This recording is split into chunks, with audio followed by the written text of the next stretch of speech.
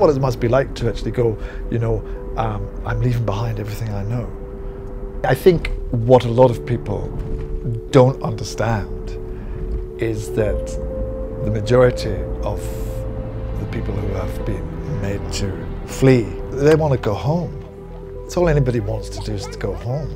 These camps are not full of people sitting saying, you know, oh, it'd be great to go to Europe or it'd be great to go to America or, or, or London.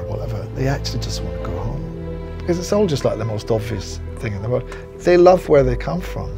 Take people who are in a very distressed and shocked uh, state, having abandoned their homes and made perilous journeys, uh, often uh, through very dangerous territories, and are exhausted. And they're brought to Azraq, and by the time you arrive at that camp, you've lived a hand-to-mouth existence for weeks, maybe months.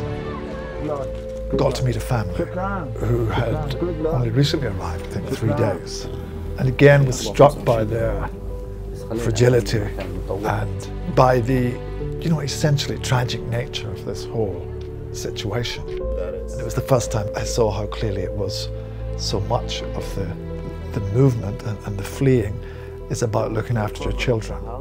When the fear is that it's unbearable for the children, that the adults move and they can take no more. I think parents will sacrifice their own happiness to give their children a chance. I just hate using this word refugee. The cliched images that that word throws up. It's almost like I think when we see people, uh, refugees on TV, we, we sort of feel as if they've stepped out of, stumbled out of history, as opposed to being people in this day and age who, just like you and I, have mobile phones and bank accounts the things you need to exist in the 21st century.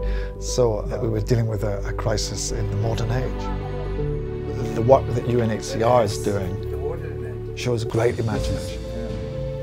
Biometrics, iris scans, and cash support.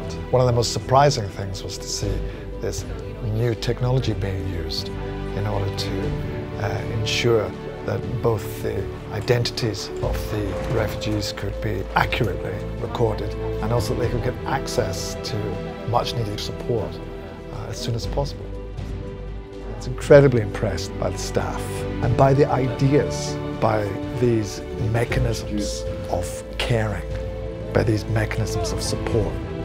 That UNHCR does it is fabulous. I just feel so humbled by the idea that the people are doing this as their life's work, figuring out how to deal with all this stuff, how to make it work. It's really impressive what human beings can do. They do awful, awful, terrible things. But God, they do wonderful things.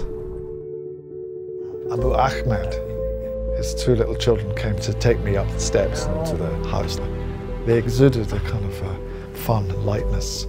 Abu Ahmed said that his children had seen beheadings and it gave them nightmares. Of course it did. He had polio and then added to this a shrapnel wound from an explosion. Awful. And yet there they were. They had survived with great dignity and had their goodness intact. These people would open the door you know, to other people. These people would help. They'd been through the most terrible experiences, they remained generous in spirit.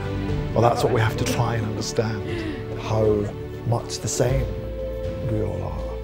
And that there are forces abroad that are everyone's enemy, people who are caught up in these terrible conflicts, deserve the dignity and the compassion that we would hope to receive ourselves.